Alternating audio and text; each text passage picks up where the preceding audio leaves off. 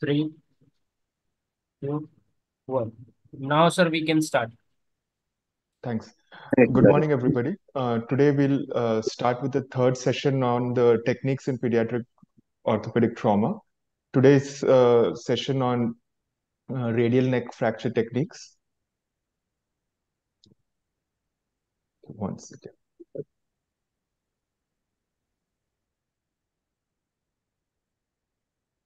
So uh, the first talk we'll just we have changed the order. First talk uh, will be taken by Maulin sir on the close reduction technique for radial neck fracture, and then the second uh, talk will be taken by Viraj sir on close reduction and Métaizeau technique, and the third talk will be by Sandeep sir on intrafocal pinning for the radial neck fractures. I'll just introduce our uh, faculty and then we'll start.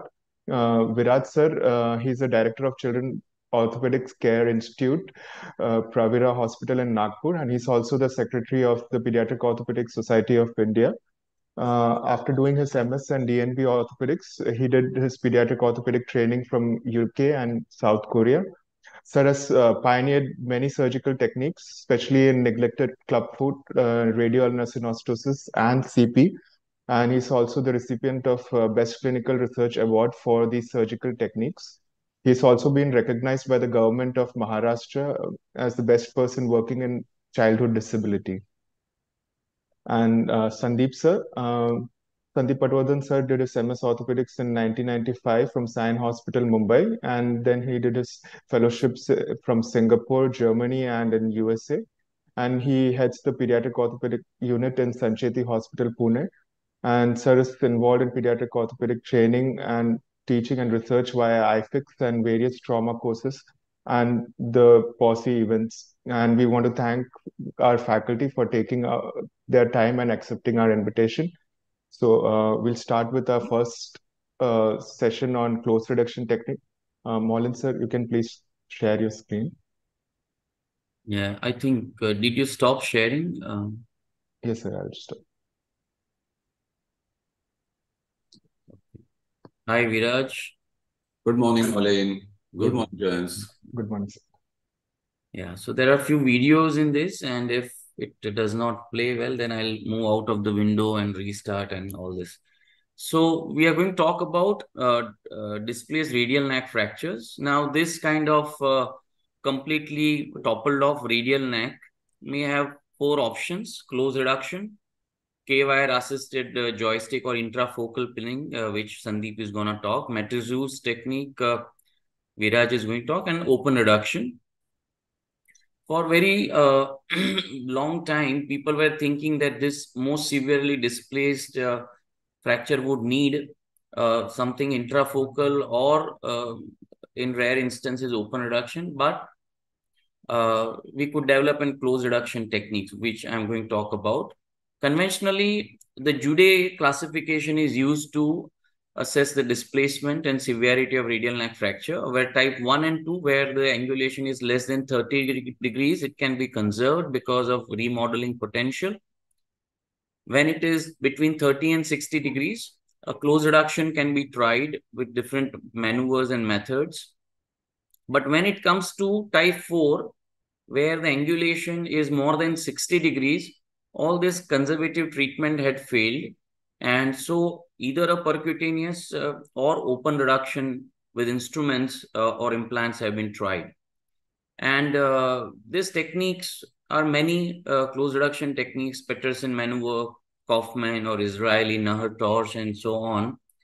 But if you read these papers, this is true for Judet 2 and 3, and none of this uniformly achieved anatomic reduction Judet type 4. In this OrthoKids technique of close reduction, we are going to discuss close reduction for Judet type 4A and B. And thus it means that for type 2 and 3, we can definitely use this technique. We are, we are interested more in most severely displaced radial neck fractures.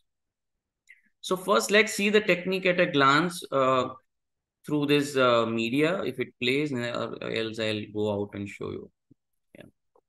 So this animation is uh, extremely good, which will, so uh, for a moment, I'll stop sharing this screen and uh, I'll show the video from outside. Yeah.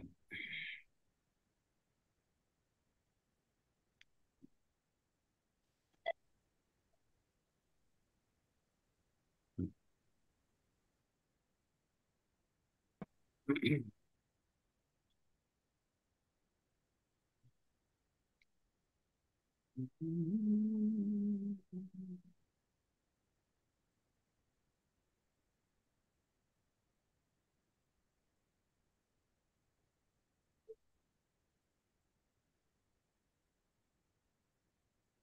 Hmm.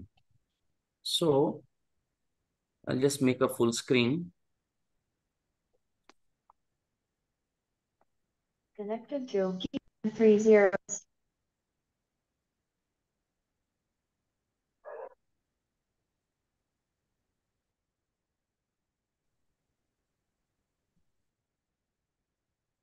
Anyway, so what I'll do is I'll open the folder and place uh, play those videos. But uh, biomechanical basis of this reduction technique is that that we try to uh, use ligamentotaxis to re reduce the radial neck fractures. Uh, and thus it means that the ligament should be intact. There should be isolated radial neck fracture. If there is an associated elbow dislocation, then many a times these uh, ligaments are torn and this technique may not work. So let me open the folder. Give me a minute and sorry for this. Uh,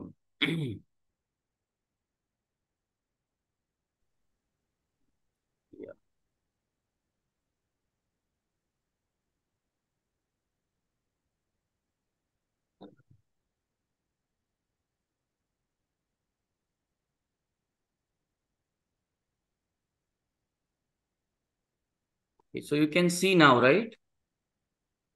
Joyance? Yes, sir. Yes, So sir. this is an animation which shows that the first step of this uh, injury or reduction technique is to see the radial neck in profile. And so you have to maneuver or rotate the forearm in different angles under image intensifier. And this suggests when you see as a rectangular piece, that's a profile. And this is the position in which the fracture would have happened. Then you give the varus force by giving counter pressure from the elbow and give longitudinal traction. And then with the thumb, you give manual pressure on the radial head and convert a type 4 to type 3. And the final step is you flex the elbow in pronation, which would align the uh, radial head completely anatomically. I'll replay this. So the first step is to visualize the radial neck in profile. Is it not progressing? Huh, it started. Yeah. So most of the times it, you need a bit of uh, pronation more than mid, uh, full supination. And you see the rectangular piece. Then you give varus force by the counter traction. Once you do the varus force, the lateral recess opens up. You give longitudinal traction. And then you push with your thumb. You locate the radial head both in AP and lateral view. And then uh, with the final pronation, supination maneuver, uh, pronation and flexion maneuver, the annular ligament and all these collateral ligaments become tight and it reduces fully. So this pronation uh, uh, is very important. And now I'll show you this technique on a patient. So.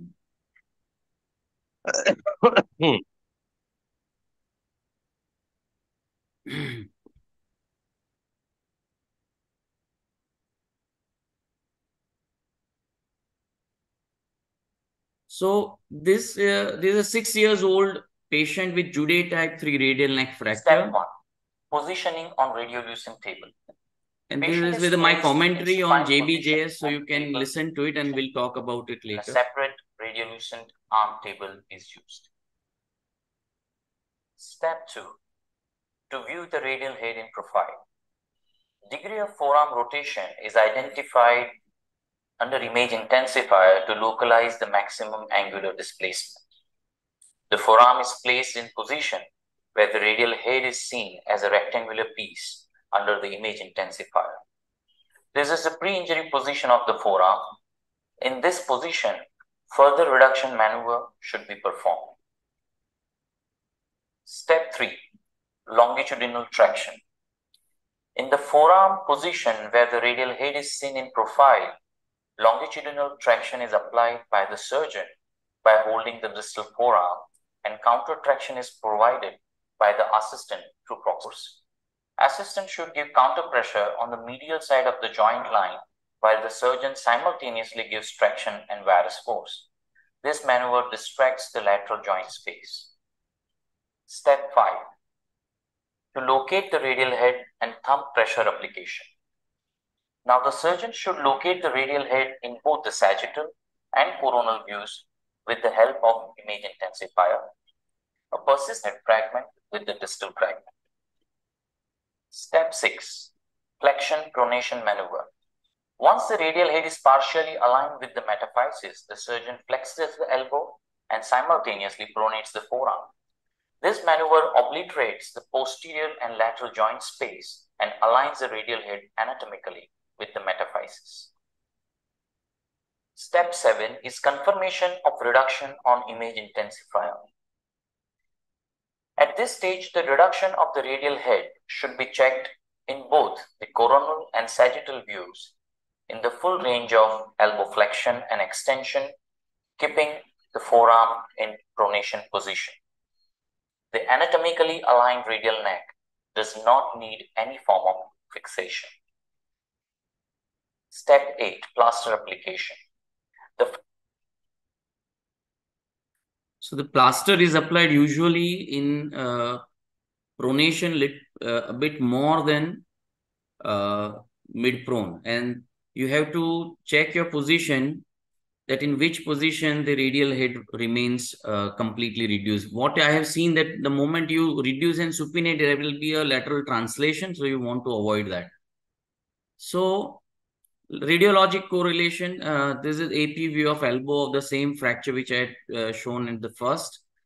Uh, after longitudinal traction and thumb pressure, we converted type 4B to type 3 and with flexion pronation uh, maneuver, it got completely reduced. And this is one year follow up. Sir, your screen you have to share. Oh, the screen is not seen. Okay, I'll I'll do it in a moment. Yeah, now is it visible now? Yes, sir. Yeah. So, so this is the uh, for one year follow up of that uh, child which I was talking, and uh, this is one more example, 4B. This is most uh, completely toppled off, as you can see. And again, we could reduce with the same technique uh, and it does not need any uh, implant fixation because it is very stable. We keep plastron for three weeks and that is enough.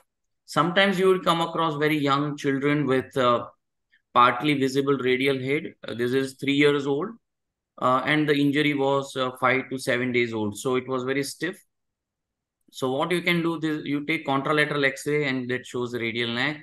Then you do an arthrogram, which would outline the radial uh, head. So you know this is Judet type 4 injury. In this case, it was moving together, so it was partly stuck. And so I did intrafocal K-wire, blunt K-wire assisted or kind of osteoclasis. And once it was done, it uh, got reduced completely and we uh, reduced with our technique and it was uh, immobilized in pronation. This technique has been published in Indian Journal of Orthopedics and uh, in JBJS Essential Surgical Techniques as well. So you can have a look and I'll share those techniques with you. So I, I think I am I finished my talk here. What, where it does not work is this, you know, the Jeffery type fractures like this fracture who had associated elbow dislocation. We tried to reduce it and I found that elbow is dislocated and I could not, uh, uh, we could not reduce it. And then we uh, required open reduction in this case. Right, so I'll stop here and I would like to have questions if they are there. Yeah, good morning, Sandeep.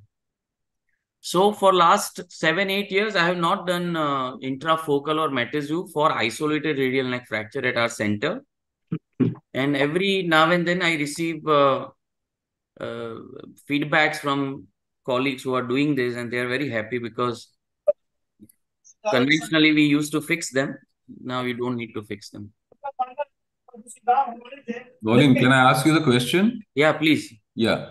So this the the pronation principle is same like what uh, is uh, it, it the periosteum acts like a hinge or it gives stability. Is it the same principle you are using for the pronation? Yeah, it, it's not periosteum, but it is it's the ligament. the Mhm. radial neck position is controlled by radial and ulnar collateral ligaments Right. and the annular ligament. So Correct. when we supinate the forearm, these ligaments become loose and it, it the radial head can translate and angulate. But the moment you you uh, align it partially and then you flex it, you are tightening the posterior capsule. So posterior recess is closed.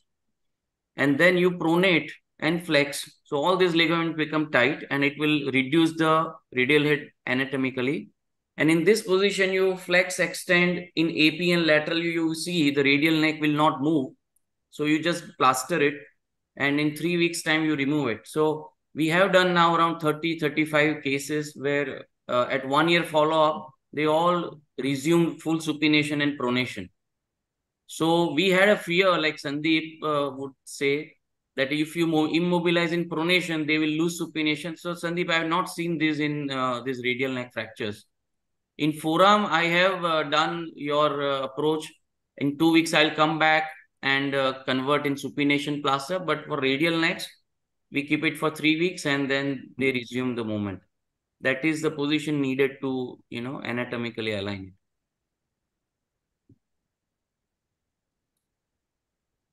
Okay, thank you, sir. Sir, as of now, there are no questions. Yeah. So we can proceed to the next talk. Uh, Viraj, sir, you can share your screen, please. Yeah.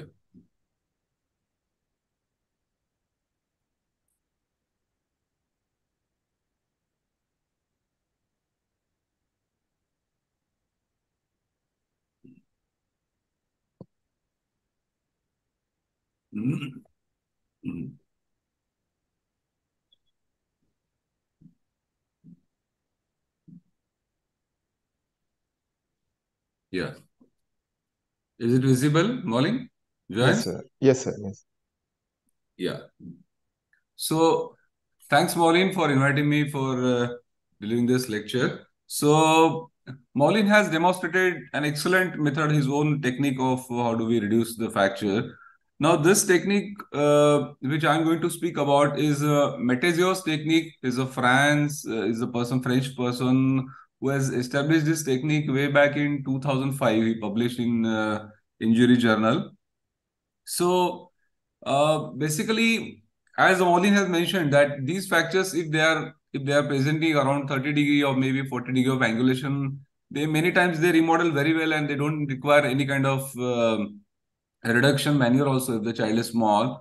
Uh, but if the angulation is more than 40 degrees, and what we all know that if we try to openly reduce this uh, these fractures, there are very ch high chances of AVN because the periosteal, the, the blood supply goes from the periosteum, that metaphyseal area, uh, because the top portion is completely covered by the cartilage. So it is only the metaphyseal area where the periosteum is there, and from there only there is meta, um, there blood supply. So we should try to preserve the blood supply as far as far as possible, and for that only, most of the authors now agree that if you can reduce this fracture by any kind of closed methods like Maulin's technique or maybe what Sandeep is going to speak about or this Métaizeau technique. Nothing like it because it it, gives the best function uh, to the child, right?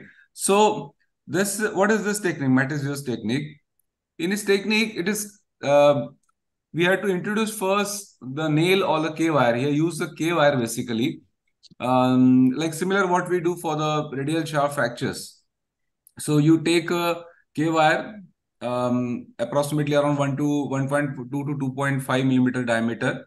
And then you contour it, the, the tip, you have to contour or bend little more because you are going to get the alignment for the, the fragment, the fracture fragment for that.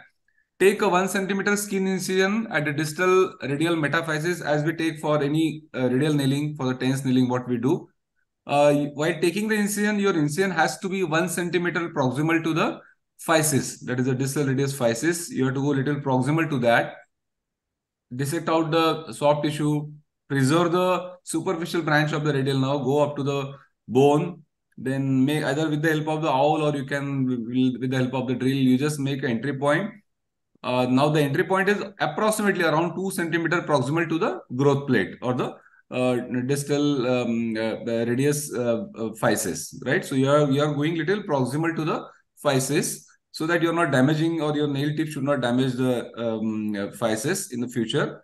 And then you introduce the nail or introduce the um, K wire and then you go proximally. So once you go proximally, this is the original diagram uh, from his own paper, Métaizeau's paper. You gently hammer the K wire or nail which you have put, and then that that that K wire engages the proximal fragment over here, and then again gently you tap it, or you can just uh, just, just hammer it or make you can introduce more so that it lifts the fragment like that. So some kind of maybe some kind of destructive force you are applying, and once you have applied this, then once you are entered into that, and then you have to rotate the K wire by 180 degree. So you rotate the K wire or your nail which you have introduced by 180 degree. So that should reduce the fracture like that. Okay. That is a technique which is um, in, in original paper Métaizeau has mentioned. And he has demonstrated radiologically as well. So here we have put the nail and then that has engaged the uh, fragment of the radial head over here and you keep on little distracting or you can hammering or like uh, advancing your nail and then you rotate it completely here. So it reduces the fracture and this is the lateral view which is there. So you have to then you have to immobilize the um, um, arm in a, in a slab for two to three weeks. You take off the slab after two to three weeks and then you have to mobilize start mobilization and you have to remove the pin after eight weeks that is what there he has mentioned in his original paper so this is how we take the incision now I am using this uh, uh, flexible nail. So TENS nail, what you can say, you can use a long K wire in whichever way, whatever, I mean, you are, it is available with you. So when you introduce it, you have to be proximal to the, this is a, a, a distal radial growth plate which is there. So you have to um, prevent any damage to that and then you have to be proximal over here and then you introduce like that. Okay. And once you are introduced, see this video where now this uh, after introduction and once you reach to the fragment, you still keep on advancing gently so that you're not uh, gently you're going advancing and then once you are engaged it nicely into the proximal fragment then you rotate it by 180 degree sorry for this not maybe very good uh, kind of image picture then you rotate it rotate the nail by 180 degrees so that the, the fragment is reduced nicely. You can see now, right? So that is the original technique what uh, Métaizeau's has described. But if you are not able to achieve the reduction like this, like the cases like this, where you, suppose you have tried Maulin's method and you have tried uh, to introduce the nail and try to disengage this fragment, and then you are not able to get reduction. So what next? there are certain tips I would like to mention. We many times we try with the Esmarch bandage. It was beautifully. And then joystick assisted technique, which maybe Sandeep is going to speak more about that. You can use a simple mosquito forceps also by just giving a small nick if or not, so that you are preserving the vascularity and uh, periosteum. This is an example of use of Esmarch bandage. Sometimes it helps in the, so we just slightly tie the it uh, it works beautifully. This is an example where this in this uh, uh, patient, it was the reduction was not coming, and with the Esmarch band you can see it has reduced, and this is a follow we can see, right? And then we have to pull out the nail. Joystick assisted reductions, like Maulin also has mentioned, there is no harm in using a simple K wire like this to get the radial into its position Sometimes you can use a mosquito forceps like this also. And sometimes, very rarely, the displacement is very severe and you are not getting, sometimes you might use two KOS also as a joystick to reduce it. These are the case example. Kind of severe displacement you can see. The, the here from this, here the fragment has moved like this over here. So manage with the the wire, you can see the, the of the regulated. So with this, now see, it was reduced like that. and this is a follow-up. You can see there is good union at two months. Now this is an example of 2 KYS where it was not coming. Sometimes this was a little old injury. She presented at seven day of the trauma. and then uh, we had to use a 2K wires to get it to get the reduction. This is how we inserted the nail, and this is how we are getting the reduction. And you can see the entry point which is there, and hardly there is Uh, just a puncture wound of uh, joystick, right, that is K bar we used for the management. This is we reduce the fracture closely, and this is the entry point of the radius nail. So with a small, uh, So with this- pun- So with this mini needle technique, see the post-op image now, it has reduced very nicely. And this is a three month, and then see the alignment which is there. So these kind of severely displaced fractures also can be, this is after nail removal. She had a full uh, function. So they usually have very good function, you know, the full rotations and then uh, So from diagram we have to right side of the back. So, in summary, uh, Métaizeau technique or mini invasive technique, they work wonderfully. If you preserve the vascularity, you are definitely going to reduce the chance of AVN. They give good results and it does not require any kind of special training any orthopedic surgeon who's good enough subject wise how to reduce and align. I think uh, they work very beautifully. So thank you all for the kind attention. Any questions? I can answer them. Yes sir. So there's one question from dr tashwin. Uh, he's asking if patient comes after 14 days of injury which procedure should we use? 14 days. Yes, sir. Yeah, I mean, 14 days is really difficult uh, to get with uh, mini invasive or maybe kind of from by the close. You can try. I mean, uh, but uh, in if you are not getting uh, just making a small nick and then try to reduce with the help of uh, mosquito forceps, as I mentioned, or maybe kind of a dura retractor you have small, that kind that can help to some extent. If at all it is not possible, then fracture is very severely displaced then you are then you have no choice. You have to go for the mm, open uh, reduction. So another question from Maulin sir. Uh, when do you start mobilizing after Métaizeau technique? yeah usually i started after three weeks. So in his original paper he has mentioned two to three weeks is a time when you start mobilizing the elbow. And you have to pull out the wire uh, at after eight weeks. So minimum eight weeks he has advised to keep uh, the wire over there or the nail over there Yeah, so like you know, some people they would say that uh, we do Métaizeau because we can start early mobility. But usually in practice, you know, most of us they after Métaizeau they they mobilize after three weeks, even for the isolated injuries. So for the next time, you can try our technique, Viraj. yeah yeah Whatever displacement is there, if it is stable, then there is no need to put implants. And anyways, you have to immobilize for three weeks. And uh, in a year's time, none of them have restricted movement. So why to, you know, we had a, we, we had a, this resistance, you know, that uh, is Métaizeau has explained, then it can be treated only with some sort of implant. It will be unstable, but it is not like that. So you do it, and then you will uh, you'll be very happy that we can fix it with without uh, Yeah, so I agree with Maulin. So basically, orthopedic is a subject. Whenever if best what you can do for the child, you know, for for any any child for any fracture that will I will say.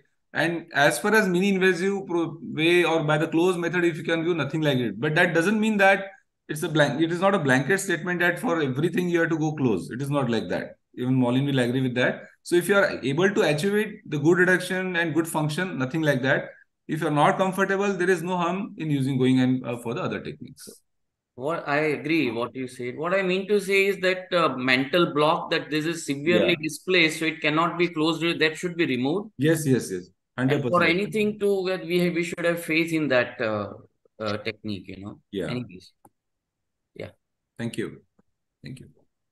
Thank you, sir, for the talk. Uh, we don't have any further questions as of now, so we can proceed to the mm, third talk.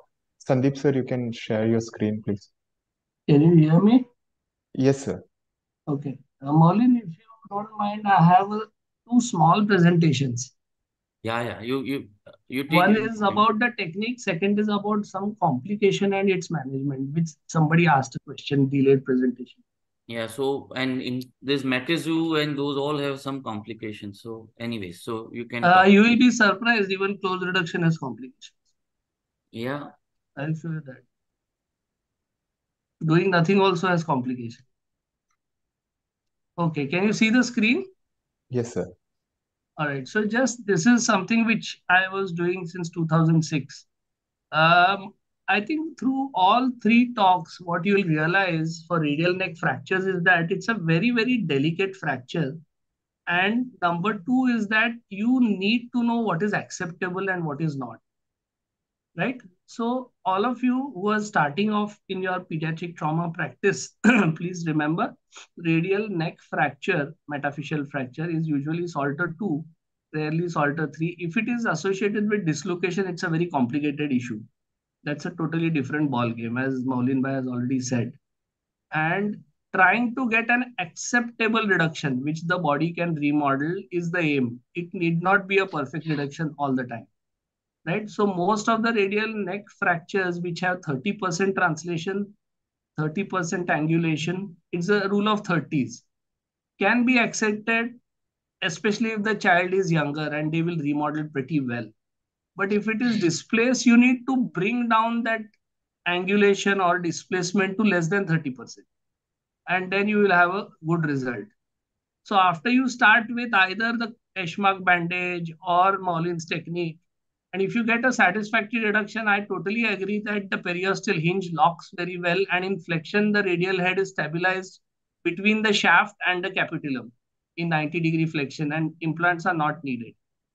But if you are struggling to get a reduction, you can use an intrafocal pin for managing this kind of a displacement. So it's a selected group where there is lateral angulation, minimal uh, combination with an intact head.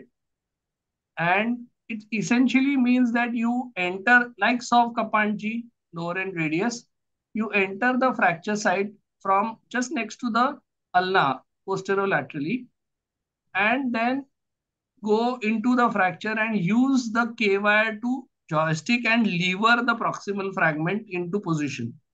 And then just pass the wire into the shaft to engage the cortex such that it is buttressing the radial head. So there is no separate implant here. It is that simple K-wire which is holding it for some time. And then in about two, two weeks in the OPD, you give a plaster and in two weeks in OPD, make a window and pull that wire out. It's a temporary stabilization along with the reduction technique. So this is an example where you have angulation which exceeds about 30 degrees. So I need to bring this aligned to the capitulum so this is a C-arm shoot.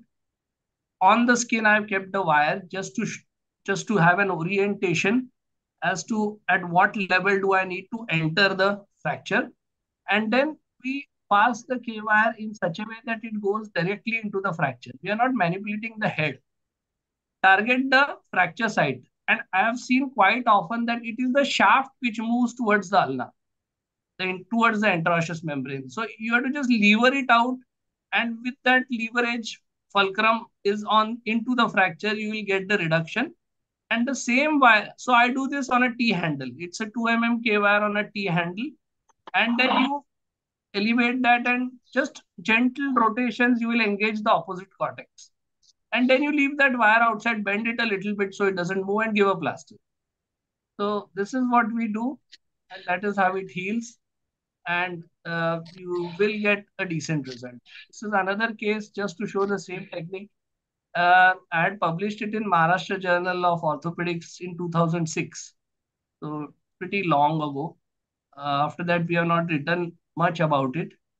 And uh, this is another way um, case where we have done, I think, an arthrogram also. No, this is no arthrogram. So again, reduction, intrafocal uh, reduction and the same K-wire holding the cortex.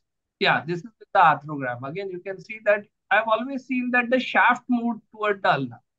Okay, the radial head is pretty much there, but something is uh, obstructing and you need to get that shaft back under that metaphysis of the radial neck.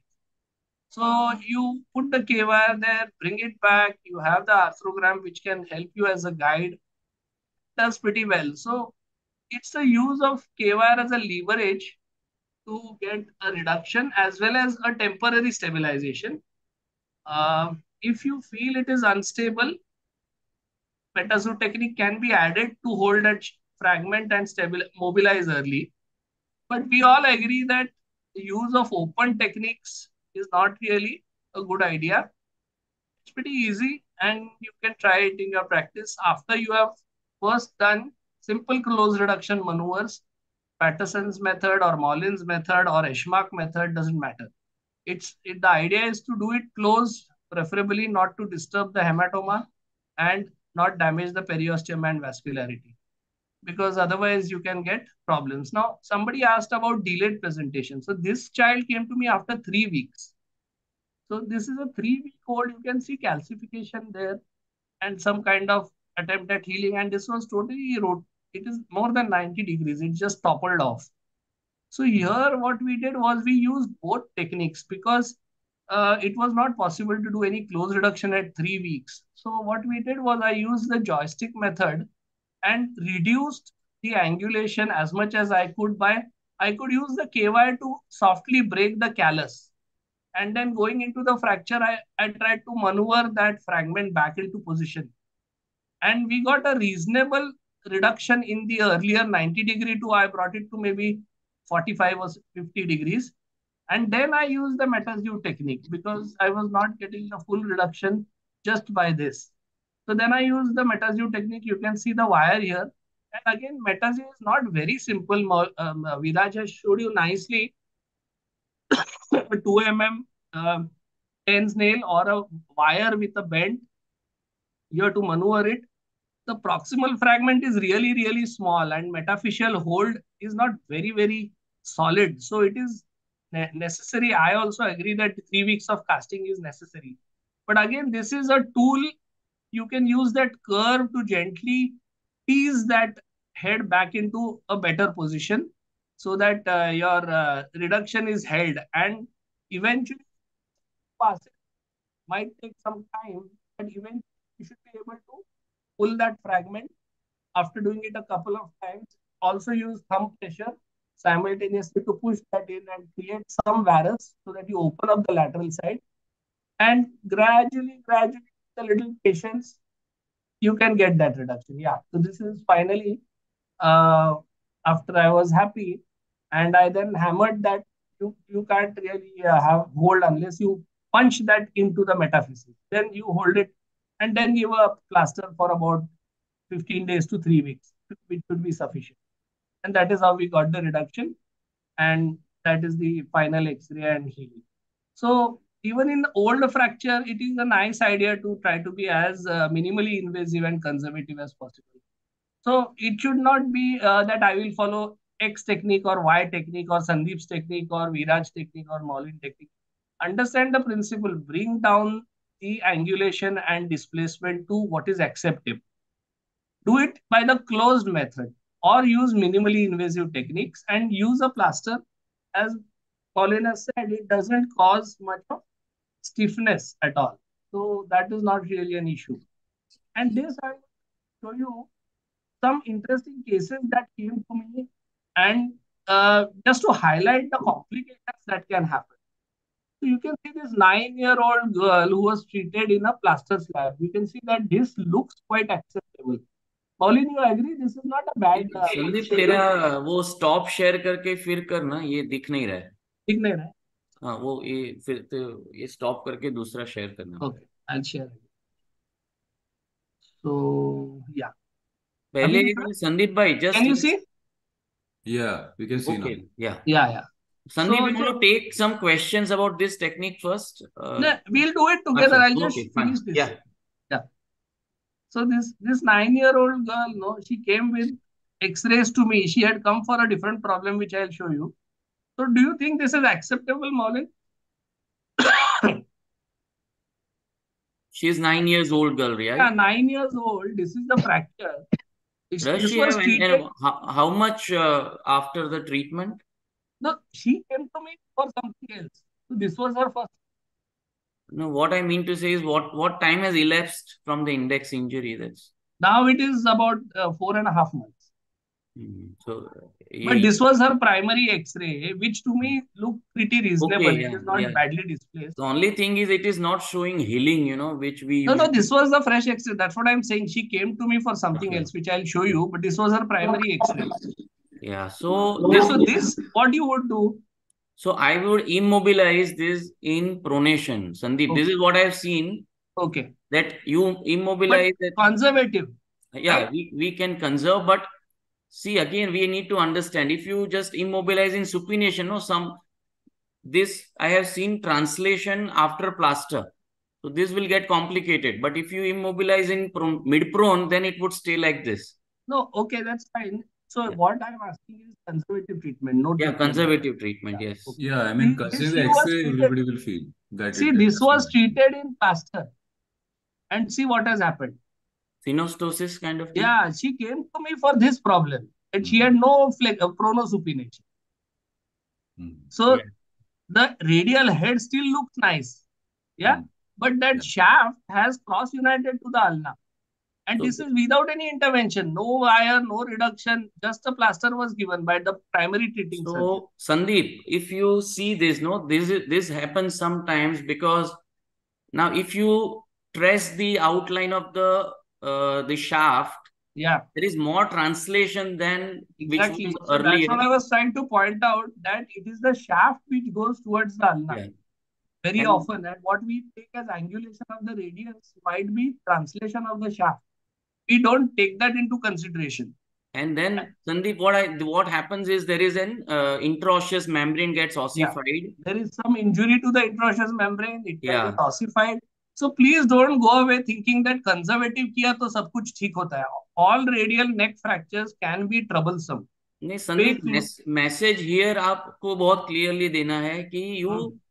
immobilize mean mid prone and that this translation would not happen नहीं नहीं मेरे को इतना message देना है कि radial neck fracture is tricky it is not very straightforward बहुत ज़्यादा हम लोग कभी कभी उसके बावजूद भी ऐसा हो सकता है।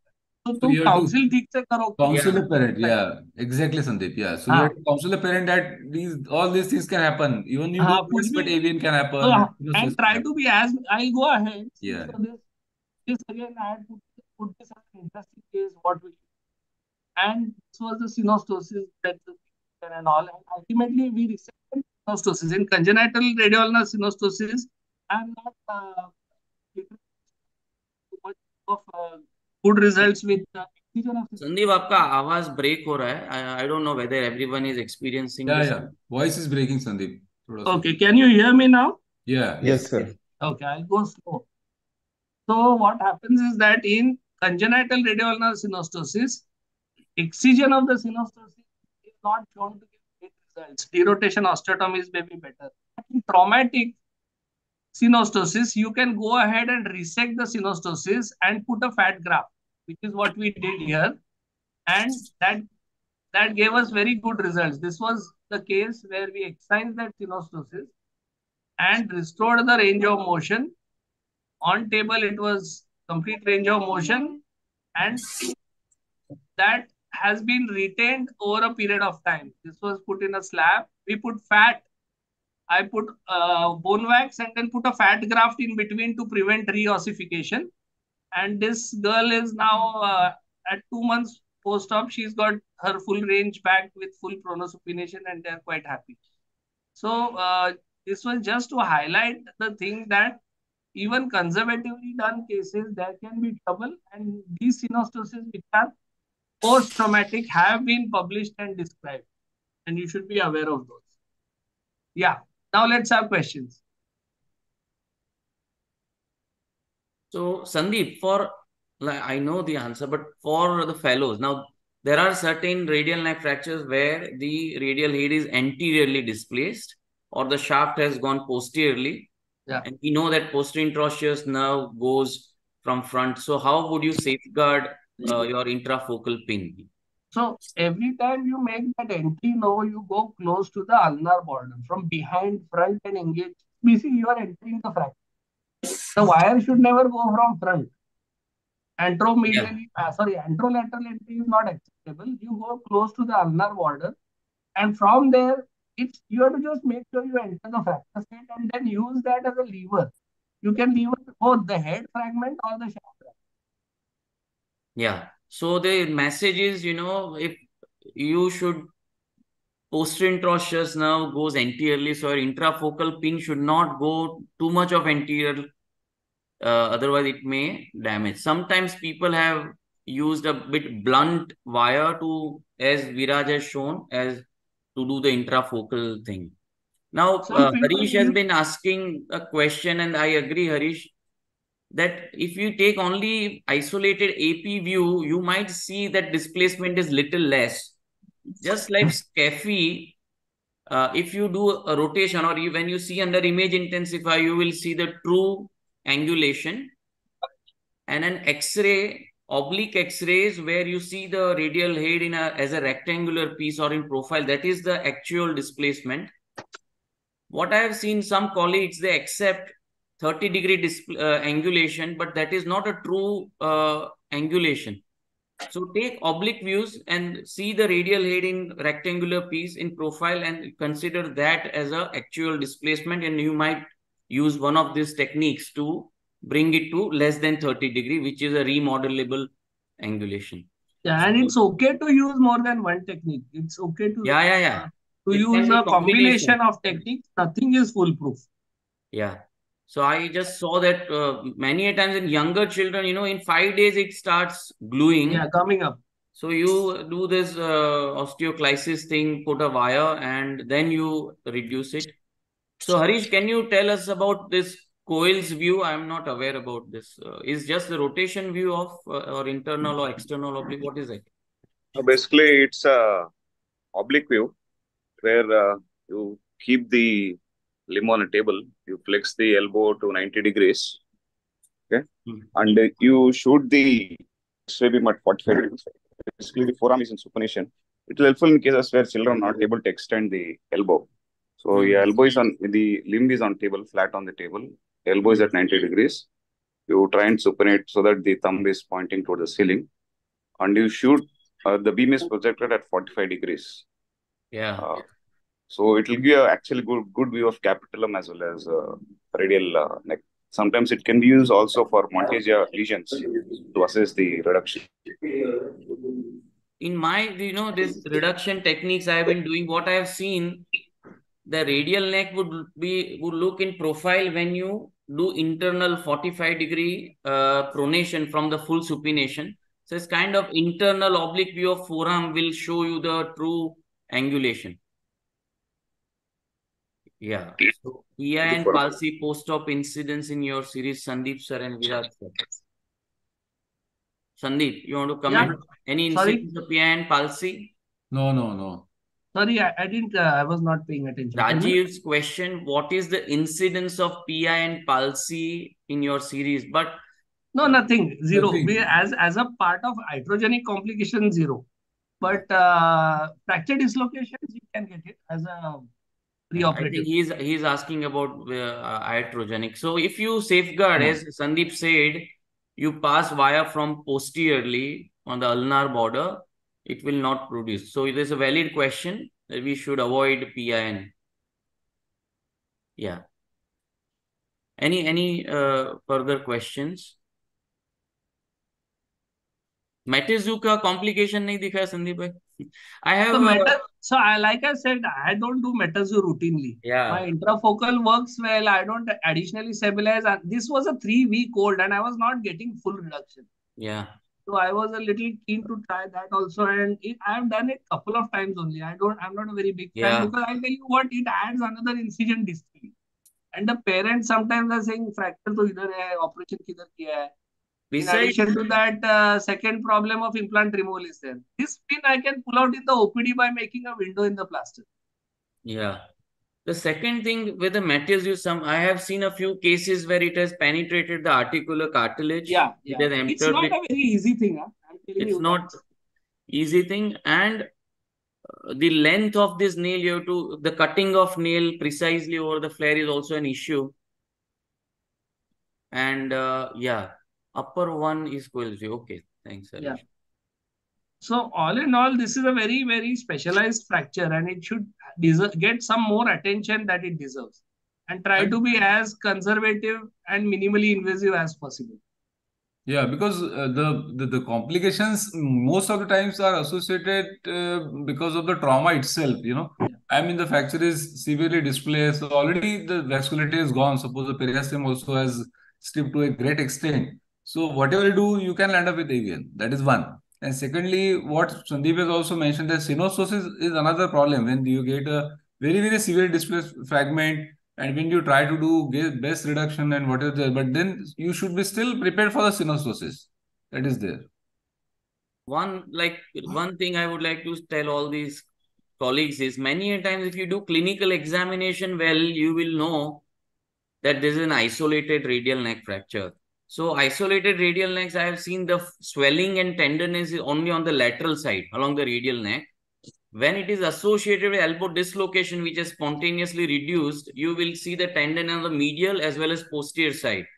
So you have to be ready for some intervention. If it is associated elbow dislocation, there's an unstable situation, and you have to uh, fix the radial head most of the times via either via a wire or a Métaizeau.